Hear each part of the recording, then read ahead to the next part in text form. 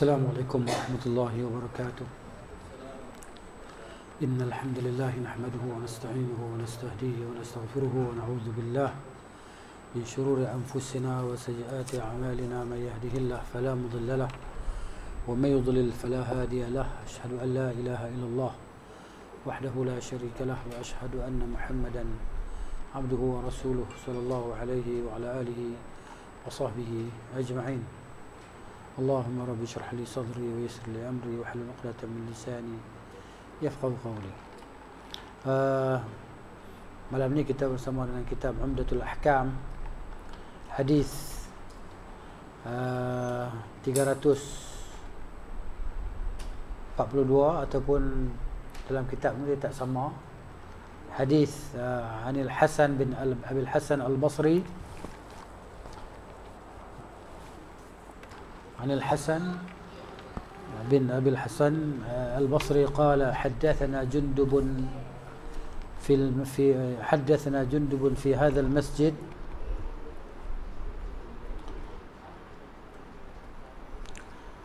وما نسينا منه حديثا. وما نخشى أن يكون جندب كذب على رسول الله صلى الله عليه وآله وسلم. قال قال رسول الله صلى الله عليه وسلم كان في من كان قبلكم رجل به جرحا فجزع فأخذ سكينا فحز بها يده فما رقع الدم حتى مات. قال الله عز وجل عبدي بادرني بنفسه فحرمت عليه الجنة. Daripada Abil Hasan daripada Al Hasan bin Abil Hasan Al Basri yani Al Hasan Al Basri rahimahullahu dia kata telah bercerita kepada kami oleh Jundub yakni uh, Jundub bin Abdullah Al-Bajari Al-Bajali في هذا المسجد di masjid ini yakni di masjid Kufah هذا المسجد مسجد ini يعني مسجد كوفة وما نسينا منه حديثا kami tidak lupa darinya satu hadis pun وما نخشى dan kami tidak takut bahawa Jundub itu berdusta atas Rasulullah sallallahu alaihi wa alihi wasallam dia berkata Rasulullah sallallahu alaihi wasallam bersabda dulu ada orang yang uh, dulu di, ada orang yang di, di sebelum kamu fi man kana qablakum ada orang yang sebelum kamu di kalangan mereka ada seorang laki-laki yang dia ni luka jurriha ataupun anda bihir jurhun dia ni luka. Luka tak tahu mungkin dalam peperangan ke apa ke. Maka dia berasa tak tahan fajaza'a fajazi'a dia rasa macam tak tahan sakit. Dia luka dia tak tahan sakit pedih. Dan dia maknanya putus asa daripada kesembuhan. Kan? Daripada kesembuhan ataupun daripada hilangnya kesakitan itu. Dia putus asa daripada rahmat Allah taala. Maka dia pun ambil pisau. Dia potong tangan dia. Dia tak tahan sakit dan luka. Dia ambil pisau dia tetak tangan dia putus. Dan darah keluar tidak berhenti-henti darah tadi keluar kan? Sampai dia mati. Dia tak tahan sakit dia dia tetak tangan dia darah keluar banyak dia mati. Maka Allah Azza wa Jalla berfirman dalam hadis kursi Allah kata hamba ku telah mendahuluiku dengan dirinya. Maknanya kan? Dia mendahului lagi maksud cabut nyawa dia cabut nyawa dari dia sendirilah.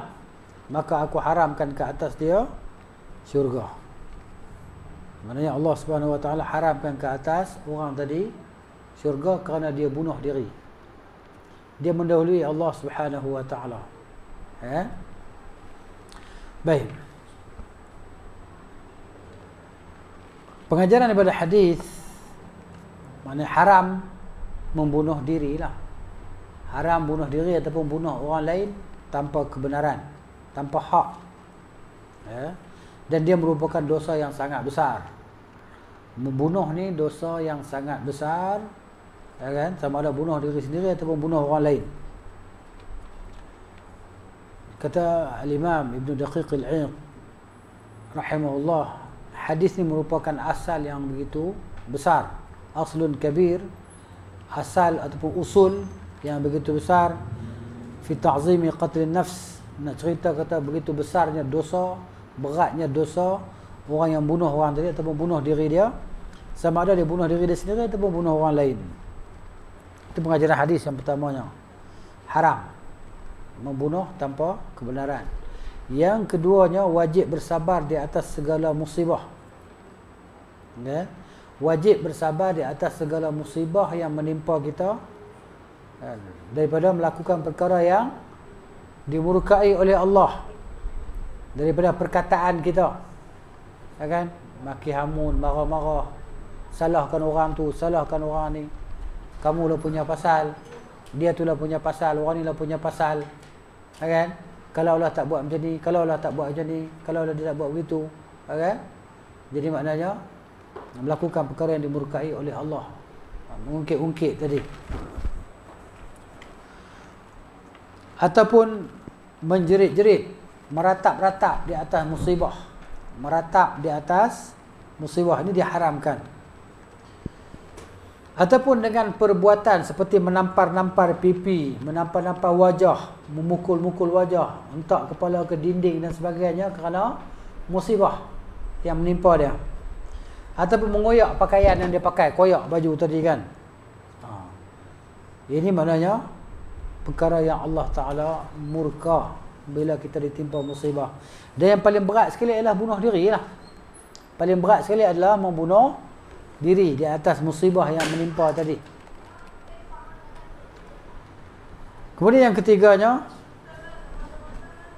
yang terbaiknya bagi orang yang diuji dengan musibah bahawa Okay. Kalau dia terpaksa nak kata juga tak tahan lah.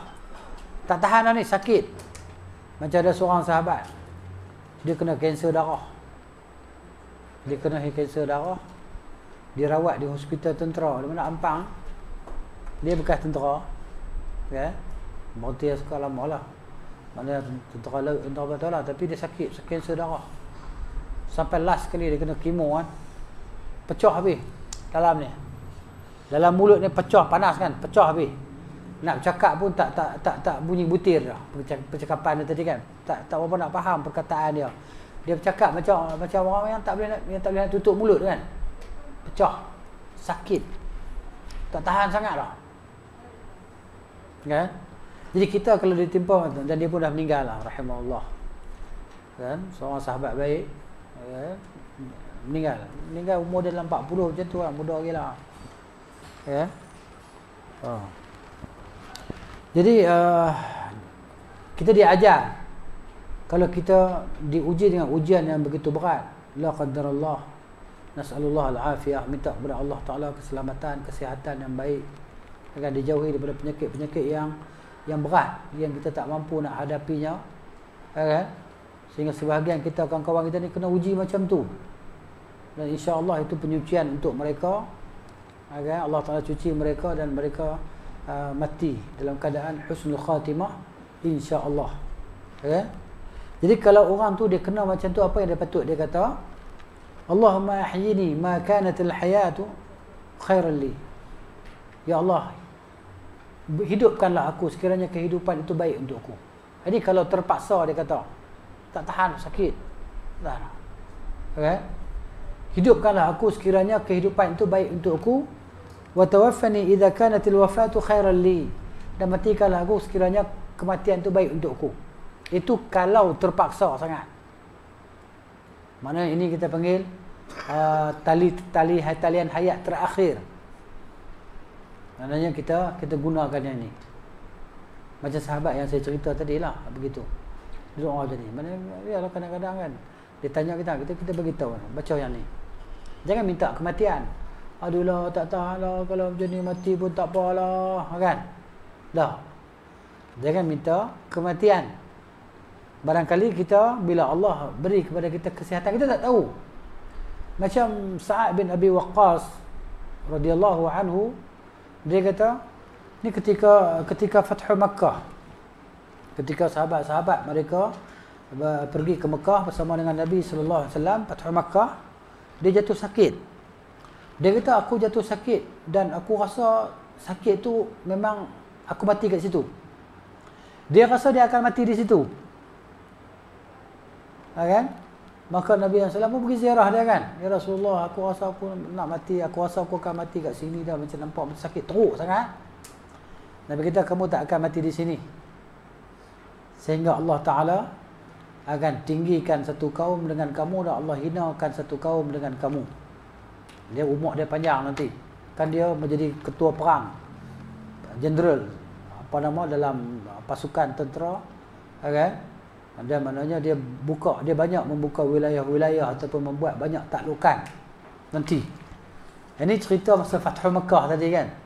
Nanti Sa'id bin Waqqas tadi sampailah maknanya Rasulullah wafat pun dia masih lagi jadi panglima perang. Dia sakit kan macam dia kata ah. Kan syafaitu 'ala al-maut macam itulah dah, dah dah dekat dengan bibir kematian. Ya kan? Menghampiri kematian. Dia rasa dia nak mati dah. Ha, tapi, tapi tak mati. Jadi begitulah kawan-kawan kita yang sakit semua tadi kan nampak macam sakit teruk lah. Nampak macam tak ada ubat lah sakit macam. Tapi sebenarnya sakit ni semua penyakit ada ubat. Semua penyakit ada ubat. Nampak macam tak ada ubat lah. Jangan dia putus asa daripada kesembuhan dan rahmat Allah Ta'ala. Dia kena tetap berusaha. Minta supaya dipanjangkan umur dalam keadaan dia tu sihat. Supaya apa? Supaya kita tadi boleh membuat banyak ke kebaikan kita boleh manfaatkan diri kita untuk jalan Allah Subhanahu Wa Taala kita boleh manfaatkan amalan diri kita untuk banyakkan pahala kita dengan umur yang panjang sebab itu kata Nabi sallallahu alaihi wasallam khairun nasi man tala umruhu wa hasuna amaluhu sebaik-baik manusia orang yang panjang umurnya dan baik amalannya. Jadi kita berusaha lakukan apa saja yang terbaik untuk Uh, dunia dan akhirat kita. Dan kita berdoa kepada Allah Taala sebagaimana doa Nabi sallallahu alaihi wasallam. Allahumma aslih lana dinana alladhi huwa ismatu amrina. Ya Allah perelokkanlah untuk kami agama kami yang dia adalah maknanya punca segala urusan kami. Agama tadi punca segala urusan kita adalah agama aslih lana dunyana allati fiha ma'ashuna perbaikilah untuk kami dunia kami yang kami ni hidup dalamnya. Kita minta Allah perbagi, perbaiki dunia kita. Kehidupan kita di dunia supaya lebih jadi baik, supaya lebih jadi eh, jadi lebih baik. Wa aslih lana akhiratana allati fiha ma'aduna. Perbaikilah untuk kami akhirat kami yang padanya tempat kembali kami. Waj'alil hayata ziyadatan lana fi kulli khair. Jadikanlah untuk kami kehidupan ini sebagai tambahan dalam kebaikan. Kita berdoa supaya Allah panjangkan umur kita dalam keadaan kita boleh berbuat kebaikan. Buat taat, buat pahala tadi kan, sebanyak-banyaknya. Dan sambil kita berdoa Allah jadikan hidup kita ni sebagai tambahan dalam kebaikan. Setiap hari, setiap masa kita ni menambah kebaikan, menambah kebaikan, menambah pahala. Waja'alil mauta rahatan lana min kulli syar. Jadi kalau kematian itu sebagai kerehatan kerehatan untuk kami daripada segala kejahatan. Ha, kita doa macam tu supaya Allah beri kepada kita kesahit ke ke ke, ke, ke kesihatan yang baik dan umur yang panjang supaya kita boleh beramal soleh. Kalau kita terpaksa tak tahan tak, tak tahan sangat. Kan? Allahumma ahyini doa. Ya Allah hidupkanlah aku in kanatil hayatu khairan li doa tu doa tu sebut hidup dulu bukan mati dulu. Maknanya masih ada lagi harapan kita kepada Allah supaya Allah sembuhkan penyakit kita, banyak kebaikan kita boleh buat lagi. Sekiranya hidup itu baik untuk Allah Maha mengetahui mana yang lebih baik untuk kita. Tiba-tiba Allah ambil nyawa dia, maknanya dengan doa yang dia baca, maka itu baik untuk dia. Dan kematian itu sebagai kerehatan untuk dia daripada segala keburukan. Daripada segala kejahatan kan wa tawaffani idza kanat alwafatu khairan li mati kalau aku sekiranya mati itu baik untukku kita tak tahu Kita ni hamba Allah Subhanahu Wa Taala. Kita tak tahu apa yang baik, apa yang buruk untuk kita. Allah Azza wa Jalla yang Maha mengetahui apa yang terbaik untuk hamba-hamba dia. Gitu. Maka kita minta dengan rahmat kasih sayang daripada Allah Subhanahu Wa Taala dengan segala kebaikan yang ada pada dia. Dia akan beri kepada kita.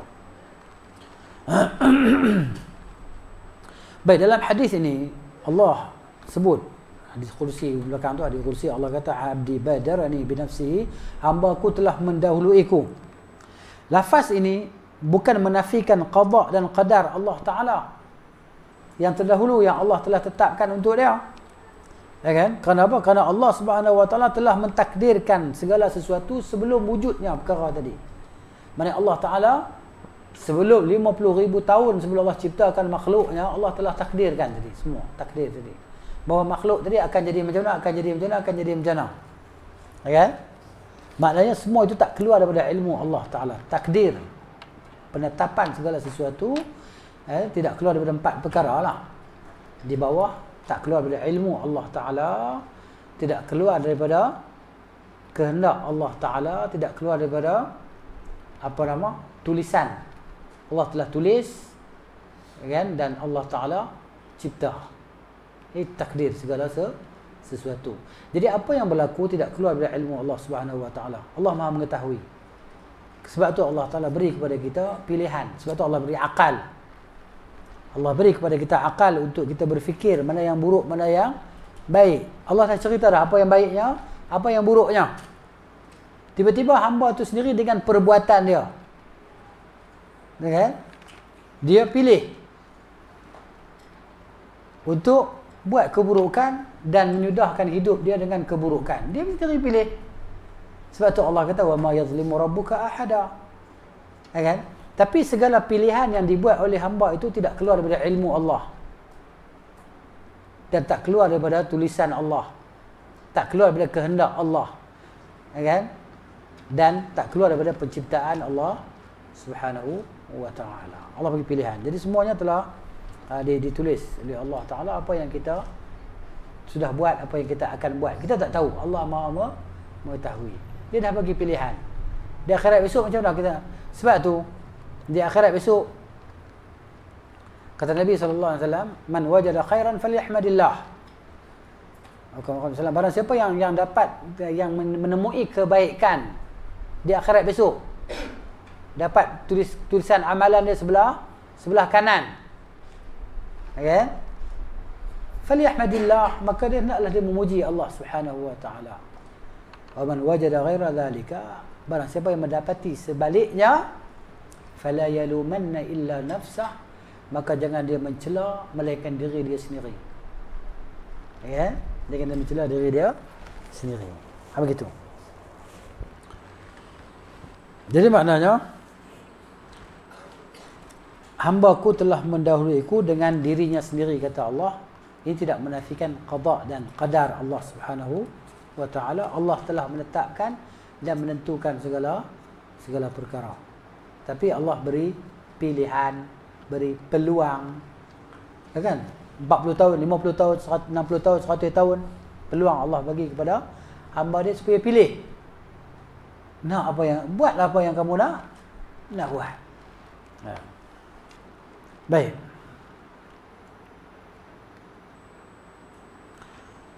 Jadi orang yang membunuh diri dia sendiri ni maknanya ajal dia dia menyudahkan ajal dia sendirilah. Dia menyudah menyudahkan ajal dia. Ha, yang telah dituliskan untuknya dengan sebab yang dia buat tadi lah. Sebab yang dia buat tadi sebab dia masuk neraka ialah dengan sebab dia bunuh diri dia sendiri. Okay? Sebab tu yang telah tertulis di sisi Allah Subhanahu wa taala. Mungkin ada kemusykilan dalam diri kita bahawa kita ni berdosa. Dan Allah Maha mengampunkan dosa. Tidakkah kita telah melakukan segala perkara ini ditulis oleh malaikat kiri dan kanan kan? malaikat tulis kiri kanan. Dosa kita yang kita buat hari ini kita buat kemarin. Kemudian Allah kata innal hasanati yuzhibna sayyi'at. Sesungguhnya segala kebaikan itu memadam segala dosa. Jadi tidakkah ia mengubah takdir? Nah, ini mana ini takdir yang di Lauhul Mahfuz itu tak berubah lah. Tapi takdir yang ditulis oleh malaikat tadi boleh diubah dengan perintah daripada Allah Subhanahu Wa Taala tadi. Malaikat tulis kan? Tulis, tulis apa yang kita buat, kebaikan dan keburukan. Tiba-tiba kita buat dosa dan di Lauhul Mahfuz telah tertulis bahawa kita akan bertobat daripada dosa kita. Kan? Dan dosa kita tadi dipadam, terpadam yang ada di sisi ma malaikat tadi begitu. Sebab la yarudu du'a illa la yarudu al-qada illa du'a tidak menolak takdir melainkan doa ini doa ni maknanya dia ubah takdir. Takdir yang mana? Bukan takdir yang di di lauhul mahfuz tu bukan. Itu yang telah Allah Taala tetapkan sejak hazali lagi. 50 ribu tahun sebelum diciptakan makhluk tadi. Tapi maknanya takdir tulisan yang ditulis oleh malaikat-malaikat tadi kan itu maknanya dipadam dan Allah Maha mengetahui dan dia yang menetapkan. Maksudnya dan tak keluar daripada kehendak dia. Apa yang kita buat pilihan kita? Contohnya ada dua botol air okay. sekarang saya panggil Din pilih botol mana yang kamu nak pilih. Okey. Din kata aku nak lari udah takdir aku nak pilih botol yang tak ada air ada sikit. Dia pun pilih yang ni. Tetap tidak boleh lari daripada takdir. Apa yang dia pilih itu tetap dalam takdir. Pilihlah yang mana satu pun. Pilihlah yang mana satu pun, maka dia tetap melakukannya dengan takdir Allah Ta'ala.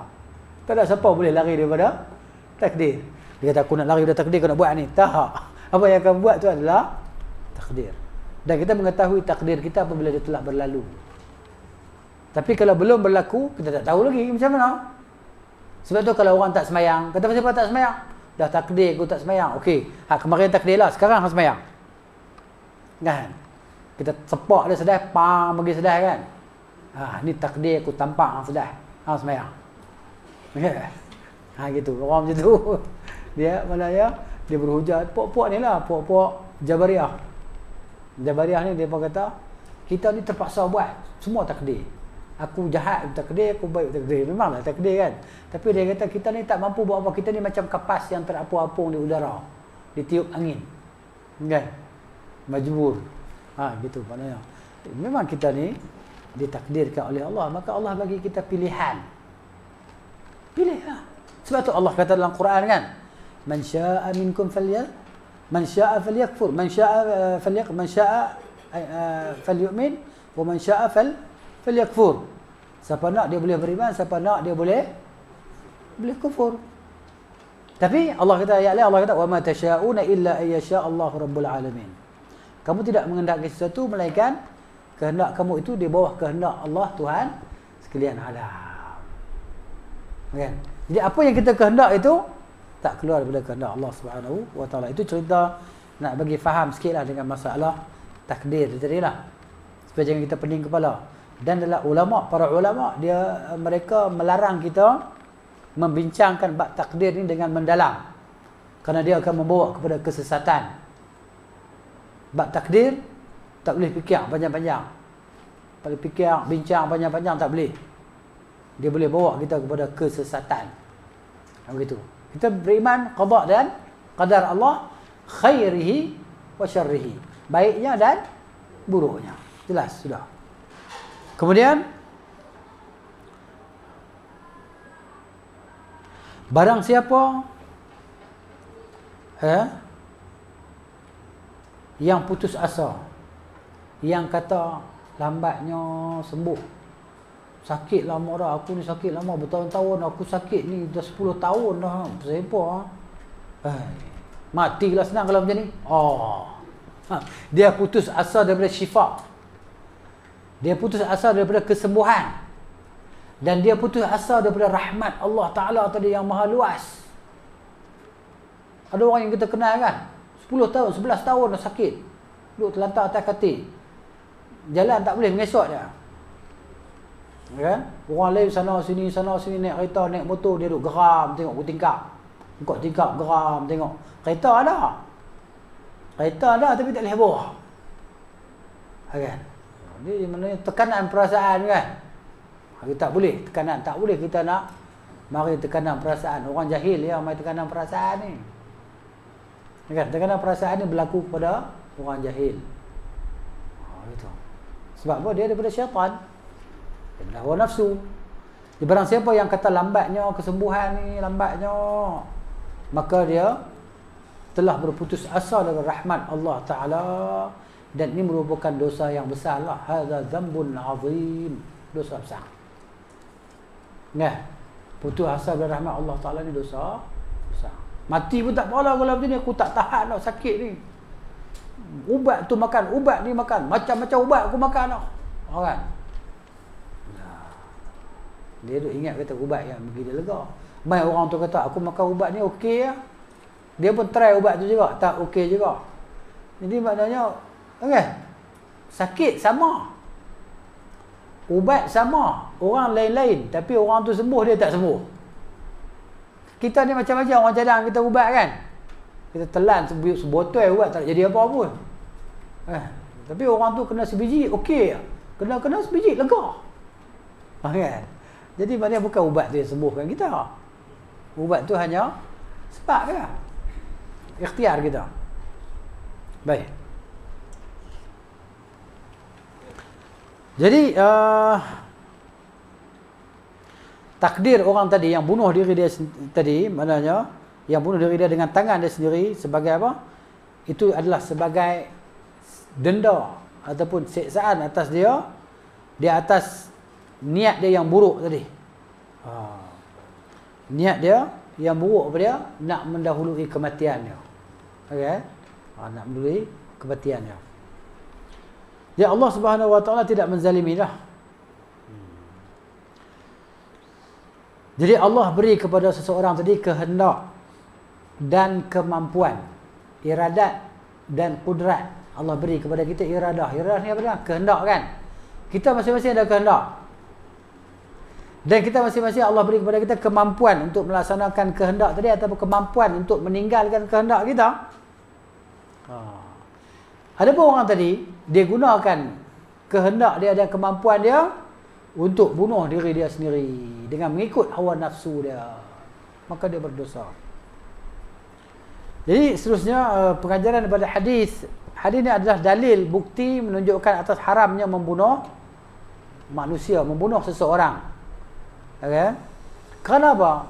Jiwa ni, nyawa ni bukan milik kita. Nyawa bukan milik kita. Okay? Nyawa ni milik pencipta dia. Apa benda pun milik pencipta dia. Sebab tu kita kata dalam bab derma-derma organ badan kita ni kan, ulama berselisih pendapat. Ada ulama tak benarkan kita derma organ badan kita. Pasal apa? Pasal organ tu bukan milik kita. Kita nak dekah apa? Hak-hak kita. Kita sedekah mata kita pada orang tu. Pasal apa kita pandai-pandai sedekah mata kita pada orang tu? Sebab dia bukan milik milik kita. Ini khilaf di kalangan ulama. Ada ulama yang membenarkan kerana darurat, kerana apa? Dan sebagainya lah. Tapi nak ceritanya kata ada para ulama yang mu'tabar. Yang melarang perbuatan derma organ kecuali derma darah. Kenapa? Darah dia tambah. Kan? Kita buang satu pain dia mari dari dua pain. Kena kambing golek ke apa-apa. Kan? Jadi macam tu. Tambah darah. Kerang. Jom kita kena kerang dua kilo. Kerang bakar. Apa kata? Depak lah kata tambah darah. Jadi kita tak tahu lah. Dia kata makan bayam, sayur bayam tambah darah. Tak tahu lah. Wallahualam lah. Kita, kita dengar orang cerita kan. Risaulah. Dia kata dia makan bayam tambah darah. Aku suka lah. Ha, tu benda jenis boleh bertambah. Ada pun biji mata boleh bertambah. Okay. Ha, jadi itu jadi jadi perbahasan para ulama. Sebab apa? Sebab dia kata? Dia bukan milik kita.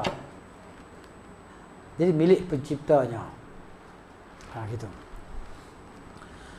Jadi nak ceritanya ada berlaku persisihan lah. Kan? Ha, begitu. Jadi kita tak boleh nak buat sesuka hati pada barang yang bukan milik kita. Hak milik kita. Kita pergi pinjam motor kawan kita.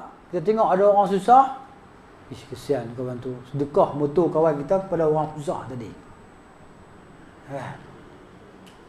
Tanpa izin kawan kita. Lepas tu kita pun jalan kaki juga. Kawan mana motor aku? Aku tengok orang tu tak tahan, tak gemar berjalan. Aku tengok dia berjalan anak beranak berjalan. Dengan anak kecil lagi dengan kan suami dengan cacat lagi aku tak tahan aku bagi motor hang kat dia. Ya. Boleh ke? Sedekah motor orang lain pada orang lain. Betul tu. Tak boleh nak buat ikut suka kita kan. Begitu. Jadi kita boleh buat pada perkara yang dibenarkan ya pada perkara yang, yang yang hanya dibenarkan dia kata untuk badan kita ni. Kita boleh melukakan badan kita pada perkara yang dibenarkan. Contoh apa? Mawi. Melukakan badan kita pada perkara yang dibenarkan, teka-teki. Contoh apa? Ha? Ha? Jawapan. Apa dia? Uh, melukakan badan sendiri. Dibenarkan. Ha? Masya Allah. Oh, Datuk tadi tak lena. Jawapan tu tepat Masya Allah. Tepat macam dalam buku ni lah. Kal hijamati seperti ber berbekam. Ha, dia kata. Mana ha ni? Ha, kan? Berubat dengan bekam. Satu lagi. Oh, apa dia? Abang Aril. Tak ada dalam buku ni tapi ada dalam kepala saya. Oh, dia kata. Masuk Jawi. Masuk Jawi bukan Jabatan Agama Wilayah Persekutuan. kan? Itu pada perkara yang dibenarkan. Masuk Jawi. Masuk Jawi ke? Jawi ni kan dia kata Jawi Jawa lah. Masuk Jawa. sunat kan ha, itu yang di yang dibenarkan bekam tadi kan ha, lain benda tu saja-saja nak repair telinga telinga nampak macam capang sangat repair sikit.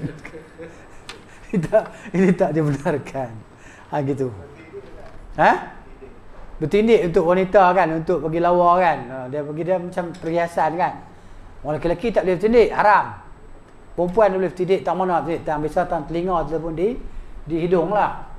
Tapi orang Melayu kita tak ada lagi lah yang tindik di hidung. Ada juga aku mungkin budak-budak lah ni ada juga. Tindik kat hidung budak perempuan. Tak ada masalah apa boleh lah. Kan? Oh, gitu. Baik. Kemudian uh, lafaz hadis hurrimat alaihi jannah diharamkan ke atasnya syurga. Orang tadi yang bunuh diri dia tadi maknanya uh, hadis ni dia mari lafaz dia macam tu macam tu dia haramkan ke atas syurga sama ada kekal dalam syurga ataupun lama tempat duduk dalam neraka hadis tak sebut apa hadis sebut macam tu ya. Jadi kita terima macam tu yalah. Jangan tanya. Haram masuk syurga ni maksudnya lama dalam dalam, dalam neraka ke kekal dalam neraka? Hadis tak sebut maka kita diam je lah. Dia kata begitu nusus dia mari dia kata.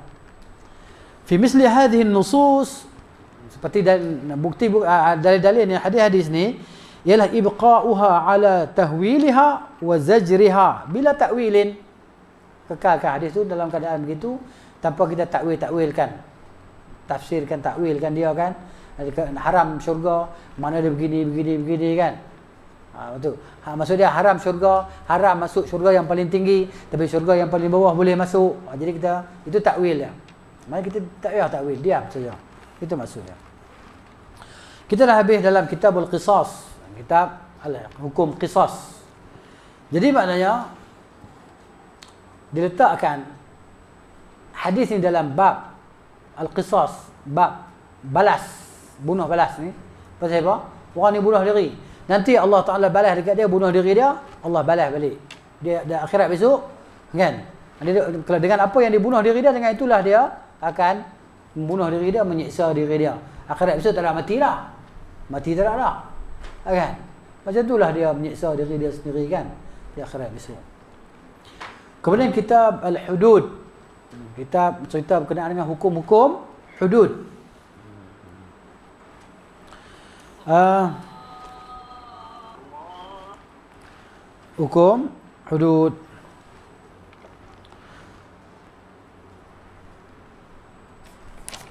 Jadi maknanya uh, di antara dia kata maknanya ah, uh, ta'rif al-hudud dulu. Definasi. Definasi al-hudud apa dia? Dia kata di sini fahiya uqubatun. Hudud ni adalah uqubat, denda-denda lah. Denda, denda. Ataupun siksaan, siksaan. Muqaddaratun syar'an. Maksudnya denda-denda yang telah ditakdirkan, yang telah ditetapkan oleh syariat. Tumna'u minal wuqu' Yang mana dengan denda tadi dia akan menghalang apa nama berlakunya perkara-perkara yang dilarang tadi lah. Bila ditegakkan hudud, maka bila dah kena denda, lepas tu orang tu tak buat lagi ataupun orang lain tak akan buat.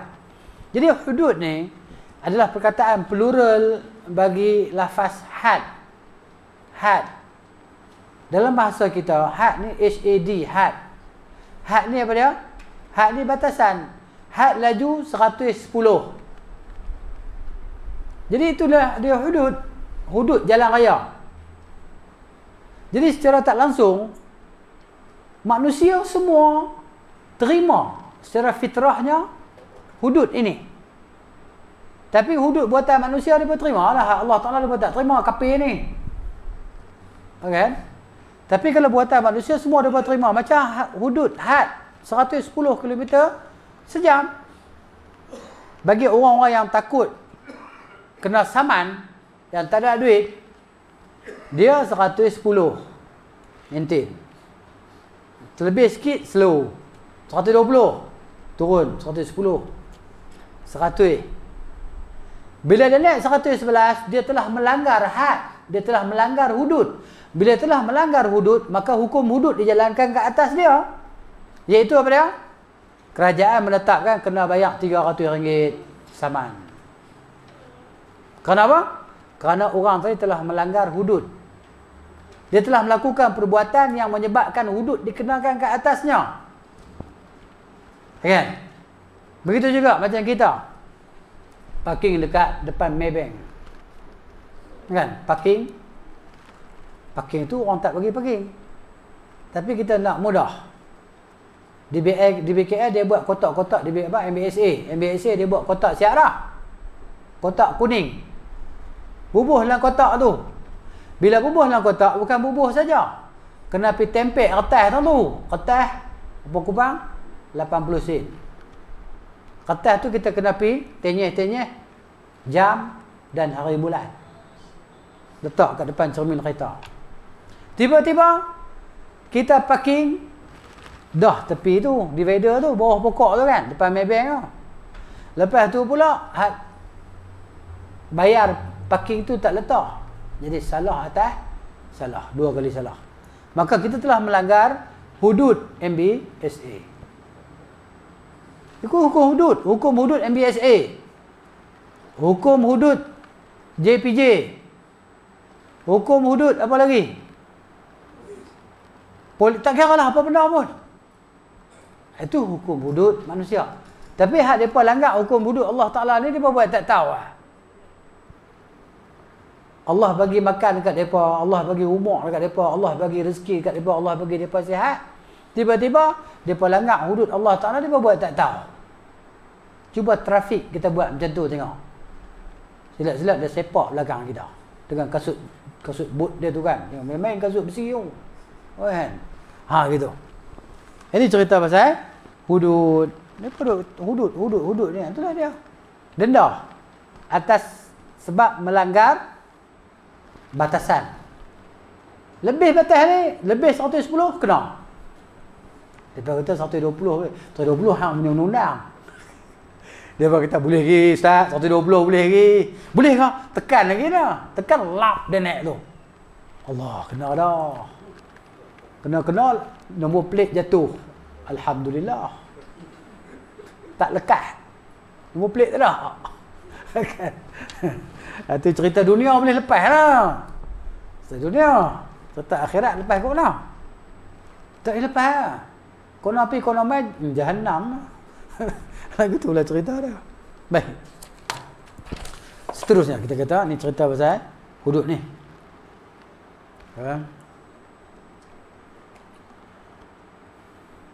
Jadi bila ditinggalkan hudud yang telah ditetapkan oleh Allah maka akan tersebarlah keburukan.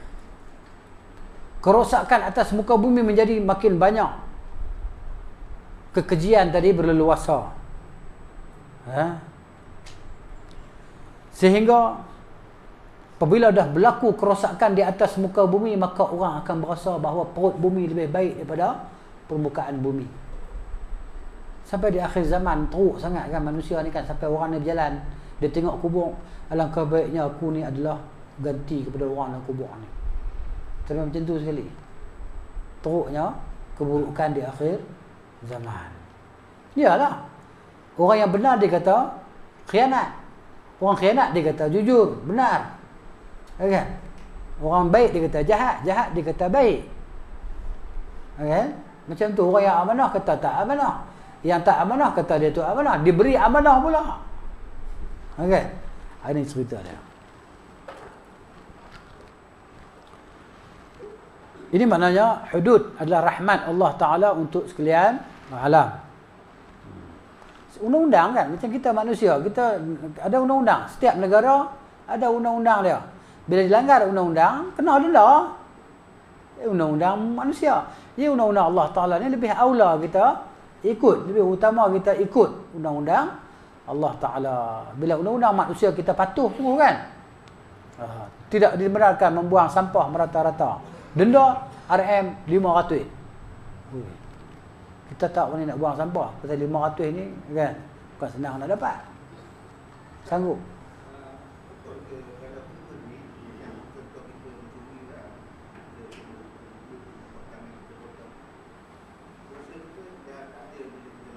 Ya. Apabila hudud dilaksanakan yang melaksanakan pemerintah lah. Bukan tuan rumah. Tuan rumah dapat tangkap pencuri, dia tangkap, dia ikat tangan kau tu, dia regang antara pintu, cup dia bagi. Supaya engkau selamat daripada dosa. Dia berdosa. Perkerat tangan orang. Dan kerajaan pula boleh tangkap dia, kerat tangan dia boleh. Ini mana kerja ni kerja pemerintah bukan kerja orang biasa bukan kerja kita pergi kerat tangan orang tu kerat tangan orang ni kan ha, Tok Mudim boleh lah Tok Mudim itu kerja dia nah, jadi maknanya bila dilaksanakan hudud ke atas orang tadi maka akan terlepaslah dosa dia di di akhirat. Gitu. tapi insyaAllah perbahasan perbincangan akan datang nanti. Apabila ditangkap orang tu mencuri maka selama mana tak sampai kepada hakim qadi kan maka boleh kita kata dia panggil apa? Kau tim apa? Boleh bincang lah. tapi bila sampai dekat dia tak ada bincang-bincang dah hukum terus.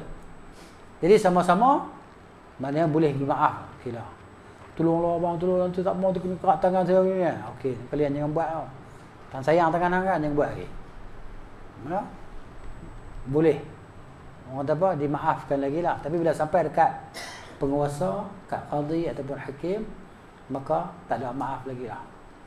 Wajib bagi dia kelaksanakan hukum tadi lah. Tapi bab-bab mencuri ni dengan syarat lah. Tengoklah keadaan mencuri dalam kelaparan ke macam di Syria tu lapar kan curi makanan ke apa eh, tengok macam mana kan bukan main semua orang mencuri jadi kena tangkap dan kat tangan dan sebagainya dia ada dia dawabit dia dia ada apa nama ketetapan dia kan waktu dalam kebuluran bila berlaku kecurian Eh, mana adakah dipotong tangan dia? Atau kena, kena tengok.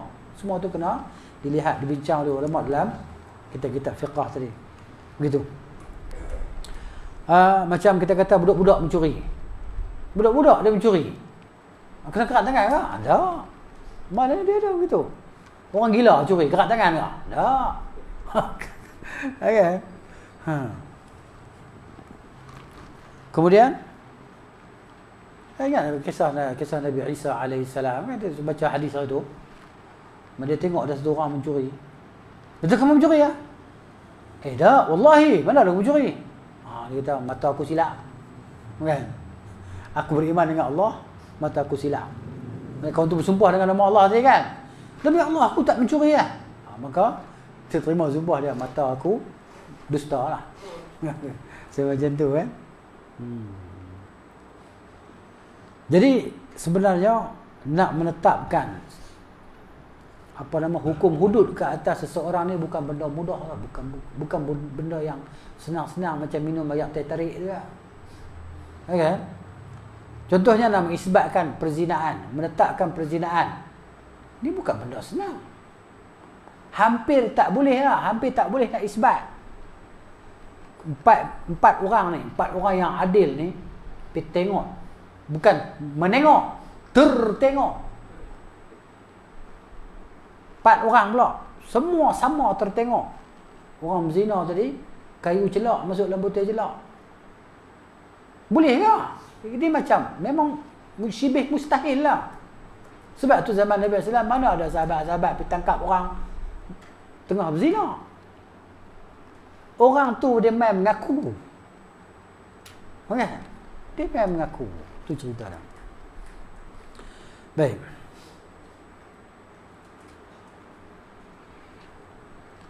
Jadi benda-benda syubhat dia tak boleh isbat hudud macam video. Video kan syubhat. DNA syubhat. Pasal apa kita kata syubhat? Sebab benda ni boleh dimanipulasikan. Walaupun DNA orang tu betul eh, tapi benda ni boleh buat. Entah bayang entah ini semua syubhat. Dia syubhat ni kalau besar kuman pun tak boleh jadi hukum tak boleh sebab hukum kan saya macam tu sekali. Untuk isbatkan dia ni berzina ke apa buat main tilam ke mahkamah. Tunjuk. Ini semua kerja gila. Kan? Tak ada dalam syariat Tuhan. Begitu nak letakkan satu hukum dengan video. Ini juga tak tak ada dalam agama. Kan? Mau tengok ni, dia ni apa? Benda selama mana ada syubhah-syubhah ni kan, memang tak boleh jadi hukum. Hukum ni pasti. Sebab tu zaman Nabi SAW mana ada orang kena tangkap sebab zina. Semua main mengaku. Kan? Mengaku sendiri. Dia buat-buat, lepas tu dia rasa bersalah. Rasa takut dosa. Kan? Yang tidak tak lena. Teringat dosa. Ya, padahal kalau dia tobat dengan Allah Ta'ala, Allah maha apa? Pengampun. Tapi dia takut sangat kan, dia nak settle terus. So, macam tu kan. Hmm.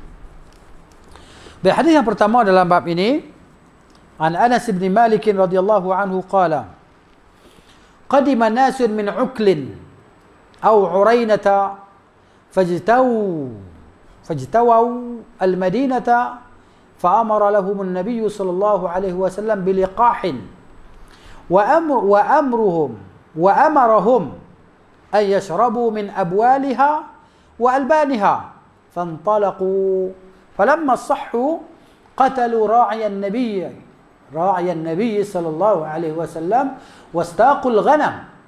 فجاء الخبر في أول النهار فبعث في آثارهم. فلما فلما ارتفع النهار جيء بهم فأمر بهم. فقطعت أيديهم وأرجلهم من خلاف وسمرت أعينهم وتركوا في الحرة يستسقون فلا يسقون. قال أبو قلابة فهؤلاء سرقوا وقتلوا بعد إيمانهم وحاربوا الله ورسوله أخرجه الجماعة بيت اجتوت استويت البلاد إذا كرهتها وإن كانت موافق موافقة واستوبأتها إذا لم توافقك Hadis ni cerita daripada Anas bin Malik radhiyallahu anhu katanya datang satu kaum daripada kabilah Uqlin kabilah Uql daripada kabilah Adnan. Ya, daripada kabilah keturunan Adnaniyah. Ya. Ataupun kabilah Urainah. Satu kabilah Qahtaniyah. Qahtan. Maka mereka bila sampai ke Madinah, cuaca Madinah ni tak sesuai dengan mereka. Keadaan di Madinah ni menyebabkan mereka ni sakit perut. Mendatangkan sakit dalam perut. Kan? Tak sesuai. Wah. Maka bila mengadu dekat Nabi SAW, dia dia masuk Islam mai daripada luar hijrah lah. Sakit perut, tak sesuai cuaca Madinah ni. Sakit. Maka Nabi SAW suruh pun ni pergi cari, pergi tempat orang belah unta. Unta yang ada susu lah. Liqah ni maksud dia, unta yang ada anak sedang menyusu. boleh perah susu. Kan? Ha, jadi maknanya hak ni hak Nabi SAW lah. Dan Nabi suruh mereka tadi pi minum daripada kencing-kencing unta tadi. Dan susu-susu unta. Mereka sakit.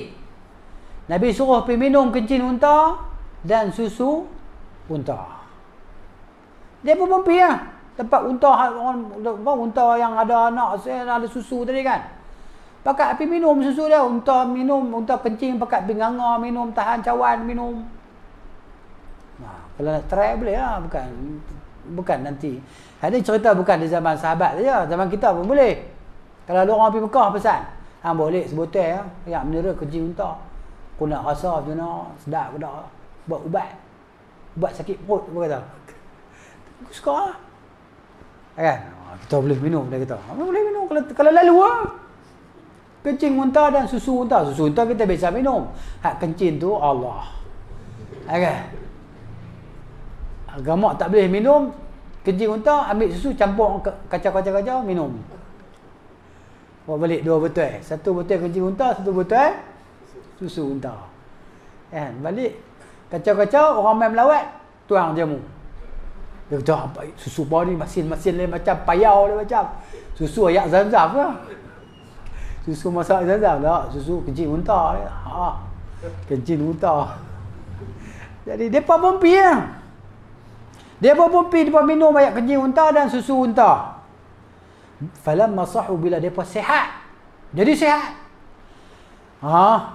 Kelabu mata. Ya kan? Depa bunuh pengembala unta tadi. Dah sihat dia bunuh pengembala unta hak Nabi SAW tadi, depa bawa lari unta. Ha. Tengok tu. Eh, kelabu mata ni bilion bilion depan mata ni. Ya, unta dia bukan murah, mahal. Million lah kan, bilion tak kot. Million lah. Kan? Oh, buat lari unta. Lepas tu sampai berita dekat Nabi SAW pada pagi pagi hari tu sampai dekat Nabi. Besok sampai dekat Nabi. Dia lari marin. Pagi hari itu sampai kat Nabi SAW, Nabi hantar orang pergi kejar dia. Hantar sahabat-sahabat pergi kejar buat ni. Dapat lah. Kan? Bila dapat tangkap dia, bila dah tengah hari dah, mereka ni ditangkap, dibawa kepada Nabi SAW, maka Nabi suruh dikerat tangan dan kaki mereka ni secara bersilang. Oh. Kerat tangan belah ni, kaki belah tu. Bersilang. Dan dikorek biji mata mereka. Biji mata mereka tadi di dikorek ataupun dicucuh dengan besi panas. Oh, bukan main-main tu. Dan mereka dibiarkan tengah panas itu. Sehingga mereka minta air. Tidak diberi kepada mereka air. Air, air sampai mati. Kata Abu Khilabah. Maka mereka itu mencuri. Dan mereka membunuh. Mereka mencuri. Lepas tu mereka bunuh pula tadi kan. Pengembala unta tadi. Selepas mereka beriman. Mereka dah beriman tadi. Dan mereka memerangi Allah dan Rasulnya sallallahu alaihi wasallam. Mereka jadi murtad. Dah beriman jadi kafir pula. Okay? Ha, tu cerita dia. Dan kemudian pengajaran hadis insya-Allah kita sambung di masa akan datang. Jadi ceritanya ringkasnya uh, Kencing unta ni tak najis lah. Kalau najis, Nabi suruh sahabat-sahabat pergi kumuk basuh mulut. Najis. Kan so Nabi kata kat depa, lepas hangpa minum kencing unta ni hangpa pergi kumuk lah pergi basuh mulut hangpa. Lepas tu hangpa minum ayak tanah sama. Nabi tak suruh macam tu pun. Eh, jadi maknanya di sini kesimpulan dia uh, ulama ulama fiqh ni kan dia berkhilaf lah berkhilaf bisa lah khilaf fiqah yang kata sebagian kata maknanya uh, kencing dan apa nama kencing ataupun najis haiwan yang boleh dimakan dagingnya tak najis kena baju kita semayang sah okay.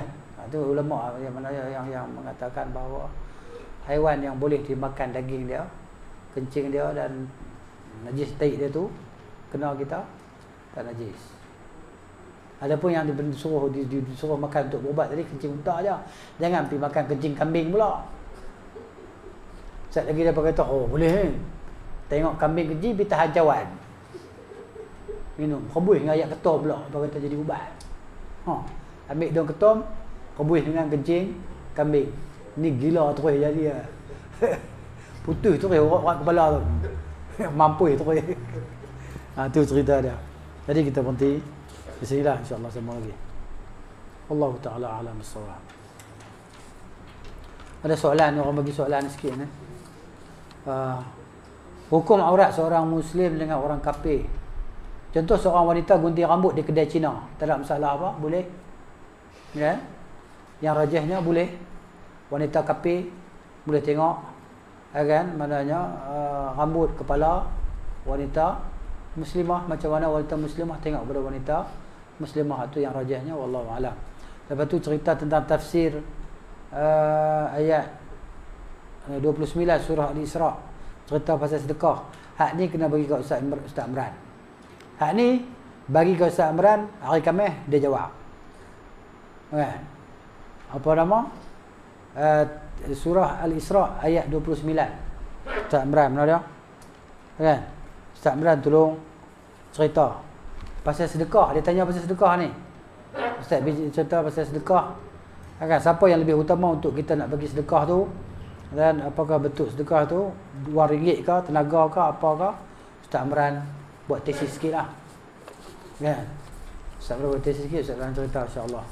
Wallahu taala a'lamu bis-shawab subhanakallahumma wa bihamdika asyhadu an la ilaha illa anta astaghfiruka wa atubu ilaik. Assalamualaikum warahmatullahi wabarakatuh.